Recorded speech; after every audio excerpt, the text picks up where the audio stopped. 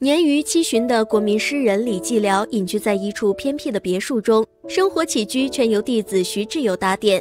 徐志友常伴在这样一位大诗人的身边，但是徐志友的写作水准还是收效甚微。李继辽亲自为他代写了一部小说《心脏》，徐志友也凭借这部小说成为了文坛新秀。一次，李继辽回家时，发现摇椅上躺着一位豆蔻年华的少女，在阳光下的少女显得如此好看。李继辽被此时的美景看呆，身旁的徐志友却打破了这幅画卷。这名少女名叫银娇，是一位偷偷跑进院子里面的高中生。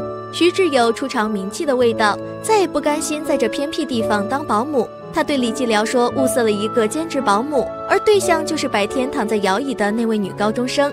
李继辽想了想，答应让银娇过来试试。银娇年轻漂亮又天真懵懂，李继辽在他的身上似乎找回了一点昔日的青春活力。虽然最初干活时银娇显得毛毛躁躁，但是认真细致的工作态度还是赢得了李继辽的认可。李继辽望着清新活泼的十七岁银娇干活的神态，他那颗垂暮的心似乎又重新跳动起来。而银娇也对李继辽充满诗意的描绘铅笔的往事听得入神。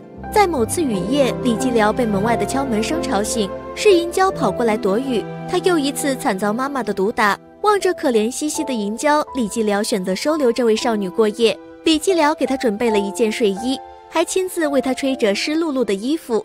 忙完后，李继辽在里屋睡，而银娇则躺在沙发上休息。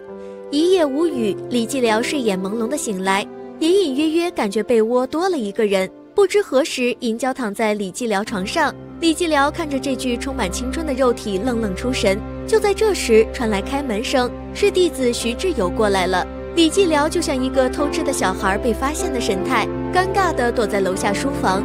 徐志友发现这一幕后，略感惊慌。他看到老师似乎和银娇有点纠缠不清，很显然自己的地位正在逐渐下降。徐志友开始故意找茬，想要赶走银娇，故意从背后惊吓银娇。银娇的镜子掉入了悬崖边，那是他妈妈第一次送她的生日礼物。银娇生气的大哭，却没想到李继辽冒着危险捡回了镜子。银娇很感动地拥抱了李继辽，还为李继辽胸口画上了一个纹身。那是因为他对银娇说，他胸口的纹身很好看。躺在银娇腿上的李继辽不仅浮想联翩，他又变成了翩翩少年。他和银娇在阳光下的树林追逐，在书房里肆意打闹。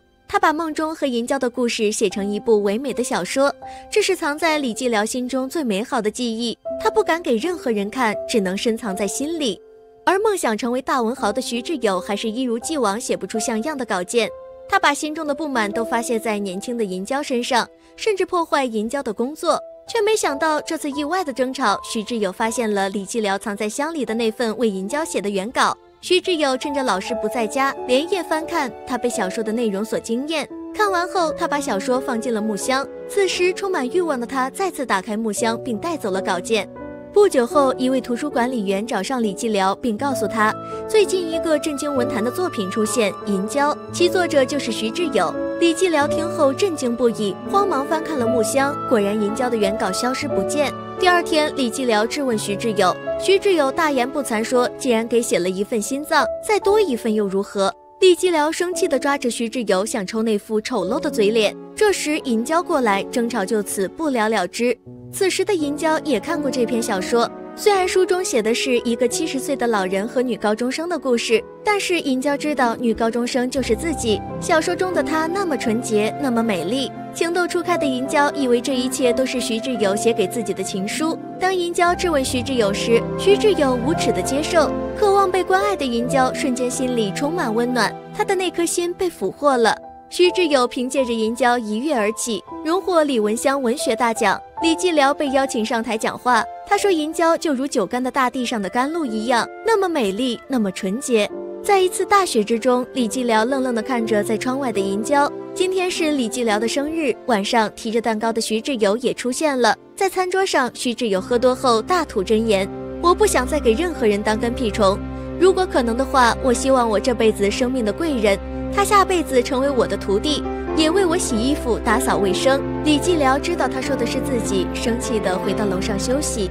晚上，李继辽被不知名的声响吵醒，在他的书房里，徐志友肆意的索取银娇的身体。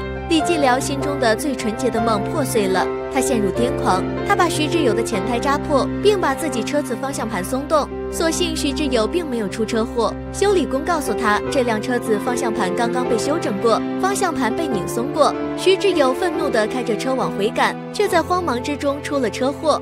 而李继辽烧完稿件后，向银娇坦白，说自己杀死了徐志友。银娇失魂落魄地来到图书馆，认真翻看《银娇》这本书。这次她终于明白了。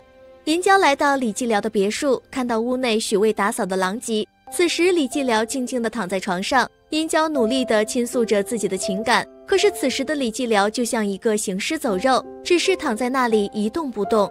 只有在银娇走后，小声地说声：“银娇，走好。君生我未生，我生君已老。君恨我生迟，我恨君生早。”想要更多精彩电影，敬请锁定良品电影。